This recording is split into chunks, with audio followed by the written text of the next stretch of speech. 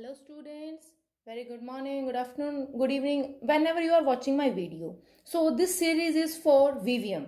We are discussing important questions for VVM from the topic Indian contribution to science. Before it, please subscribe the channel by pressing the subscribe icon and like by pressing the thumb icon and share also. So let's start. Question first. Where Vikram Sarabhai space centre V S S C situated जो हमारा we S S सी है situated कहाँ है? That is it is situated in Trivandrumpuram Trivandrumpuram is in Kerala next question full form of L P S C क्या full form है L P S C की?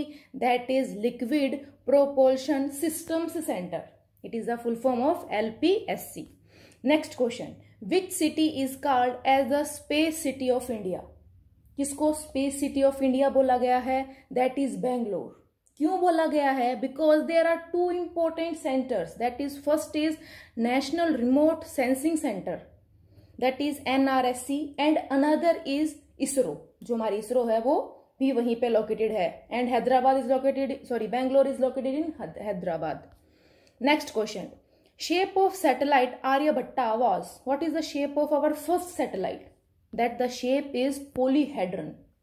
Next question, where which orbit lies at a height of 36,000 kilometre from the surface of the earth? एक ऐसा orbit present है हमारे 36,000 height पे अर्थ से। उसको क्या बोला गया है? उसका नाम है जियो सिंक्रोनस ऑर्बिट और जो भी सैटेलाइट इस ऑर्बिट में प्लेस की जाती है उसको जियो स्टेशनरी सैटेलाइट बोलते हैं।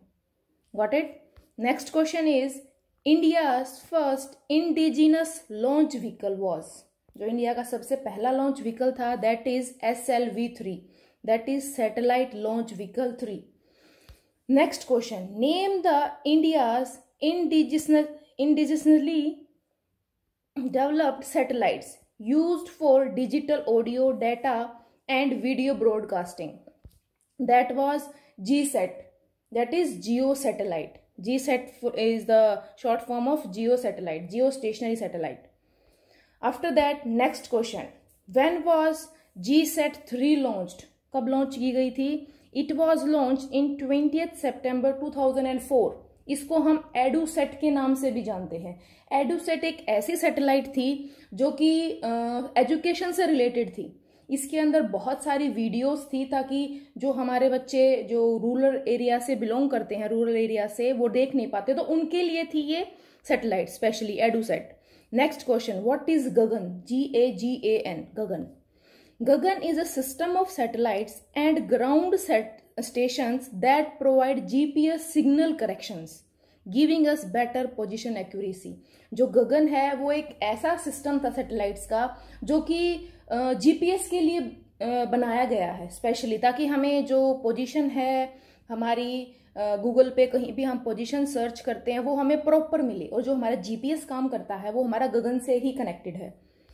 Next is what is the full form of G A G A N Gagan that is GPS aided geo augmented navigation that is is a path showing satellite next question what are remote sensing satellites And the answer is satellites carrying very sensitive cameras or radars and circling the earth in space hundreds of kilometers high are known as remote sensing satellites. क्या करती हैं ये ये हर चीज़ को, अर्थ पे क्या चीज़ कहाँ present है, उसको सेंस करती हैं, हमारे सिग्नल्स को सेंस करती हैं। Next question. When ISRO launch twenty satellites through a single rocket हमारी इसरो ने ट्वेंटी सैटेलाइट्स एक साथ लॉन्च किए थे। That is twenty second June two thousand and sixteen ये इन्होंने लॉन्च कब किए थे? नेक्स्ट क्वेश्चन है हमारा। Name the country which launch thirty seven satellites in the mission एक कंट्री थी उसका आंसर दैट इज़ इसका आंसर है Russia.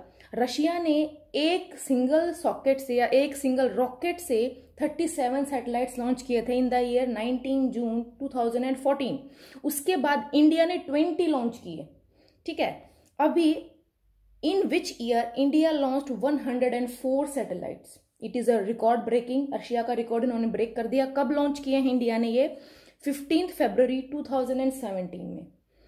Next question name the India first interplanetary mission India का जो फ़र्स्ट इंटर इंटरप्लानिटरी मतलब जो अर्थ से आउटर सरफेस में जो सैटेलाइट्स जाती हैं दैट इज़ इसका दूसरा नाम है MOM that is Mars Orbiter Mission और मंगलयान।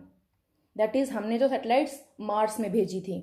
लॉन्च ऑन 5 नवंबर 2013 में हमने जो मिशन किया था मंगलयान, उसमें हमने हमारे एक रॉकेट सैटेलाइट को मार्स में भेजा था। इस मिशन की वजह से India become the fourth space agency to reach Mars ठीक है फोर्थ एजेंसी बन गई थी। Also India become the first Asian nation to reach Martian orbit that is Mars का orbit and the first nation in world wide to do on its first attempt India एक ऐसी इकलौती country थी जिन्होंने first attempt में ही हमारे satellite को Mars में भेज दिया था और जो कंट्री जैसे Russia, America, they are trying, उन्होंने पाँच पाँच, छह छह बार ट्राई करने के बाद भेजा था। लेकिन हमने फ़र्स्ट ट्राई में ही उसको मार्स में भेज दिया था। Next question.